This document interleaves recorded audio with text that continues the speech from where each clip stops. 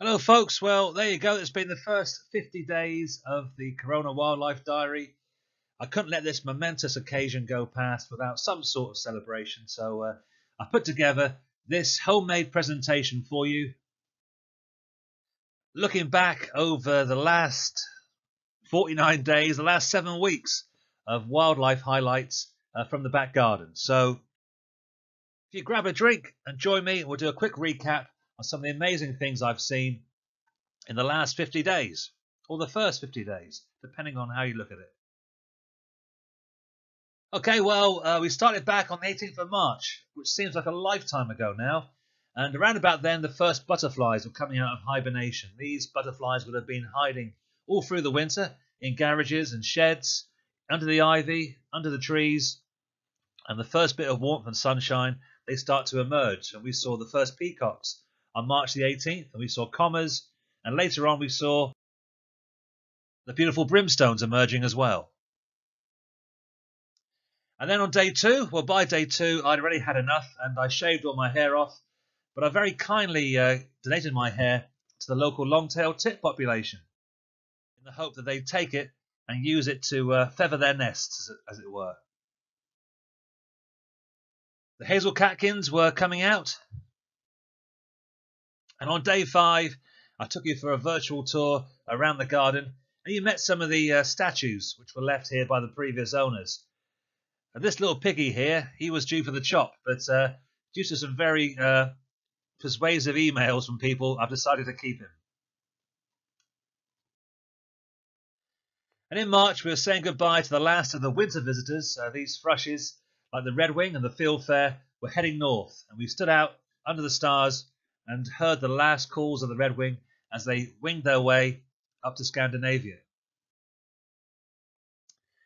I did a bit of uh, photography uh, in March. I, uh, I camouflaged myself on the sofa.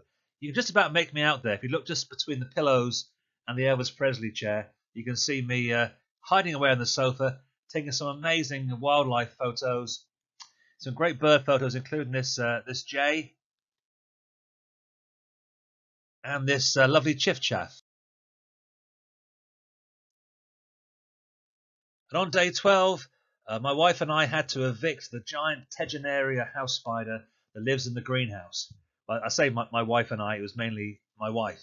Uh, but uh, Claire took her down a few doors uh, to a neighbour's garage and let her go there. But we do have some actual footage of us uh, encountering the spider.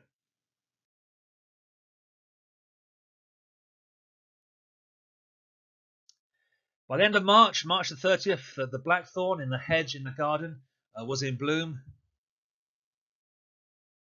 And the blackcap, back from its winter down south, was singing its little heart out in the sallow. Now, one of my highlights from the past seven weeks has been finding this poo. This is a green woodpecker poo, which I found on the front lawn. Now, I love green woodpecker poo because you can take it apart and dissect it, and you can find all the little ant bodies that are inside. The ants the green woodpecker have been lapping up with his tongue. There they are, there, lovely. Look at that. And one evening, we put out a trail camera and got some lovely film of this beautiful vixen, a female fox who came into the garden and ate all the dog food.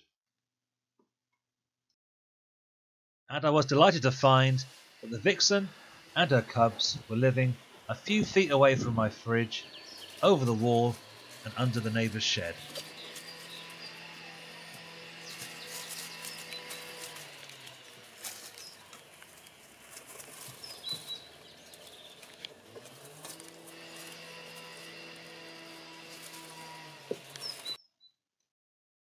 Where is he? Where is he?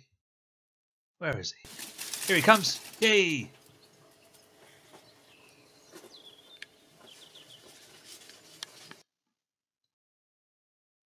Now, my wife Claire did a guest blog one day talking about all the wonderful fungi you can find in the back garden. I've seen quite a few of these blue butterflies around in the last few weeks. These are holly blues. They're having a good year, it seems.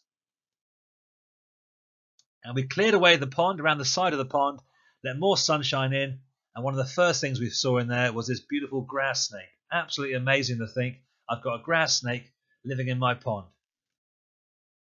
And this giant frog too. And I lay down one day and watched these beautiful large red damselflies as they were mating and then laying eggs. You can watch here and see the male damselfly dragging the female around as she lays her eggs on the leaves while he flies above her and keeps guard.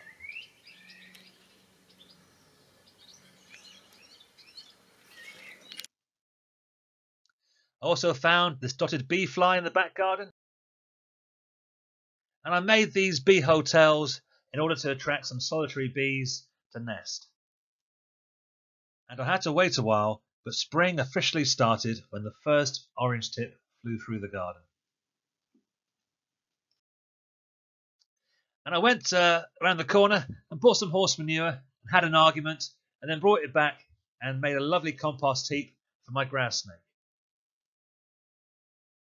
On the front lawn, the cowslips were emerging, and I spent some time in the morning in my dressing gown, counting them and scaring my neighbour. In the back garden on the 1st of May, the hawthorn was in bloom.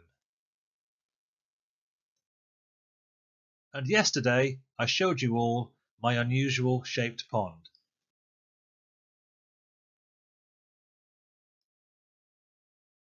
Thank you so much for all the lovely comments you've written under the blog. It's great to know that you've been enjoying it. I've had some lovely comments and some odd comments too.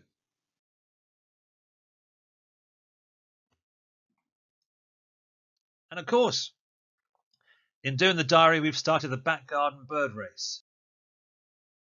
It's been amazing to think of all these people out there joining in, watching birds each weekend whether you're on a fire escape in Hove or looking down over the garden hedge onto the Pett Levels. It's been wonderful to think that even though I've been locked down in my own house for seven weeks,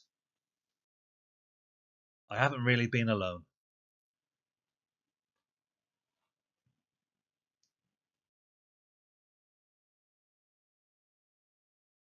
So, thank you for getting through this with me. If you're not a member of Sussex Wildlife Trust, then please consider joining us. We'd love to have you on board. You can join online. And that was the first 50 days of the Corona Wildlife Diary. I'll keep on doing it until uh, we're told to stop. And uh, in 50 days' time, on June the 25th, we'll have another recap. Thank you for listening.